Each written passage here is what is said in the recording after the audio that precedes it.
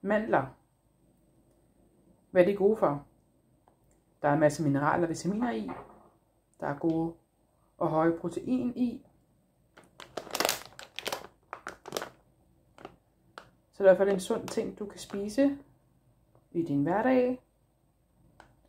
Og det giver også en dejlig smag jo. Der er også nogle gode fedtsyre i. Og det her, det er normalt en fast spotvare nede i Netto, det vil sige, at det er der en gang imellem. Den her gav jeg kun 45 kroner for. 600 gram synes jeg er en fin pris. Naturens energi.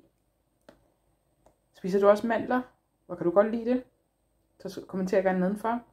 Du kan også bruge valnødder, eller hasselnødder for eksempel, i din hverdag, hvis det er. Og husk at læse dekorationen på nødder generelt. Her står der kun mandler.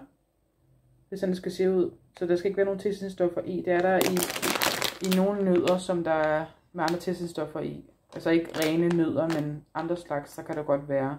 Så vær lige opmærksom på det. Det er i hvert fald et rent produkt, som jeg vil anbefale dig. Og læs gerne med ind på ninasvensuniversitet.dk. Der er masser omkring kemifri kost, kemifri produkter, alt muligt, som jeg oplyser omkring. Så gå ind og tag et kig. Abonner gerne her på kanalen for at se mine daglige videoer, og vi ses i den næste video.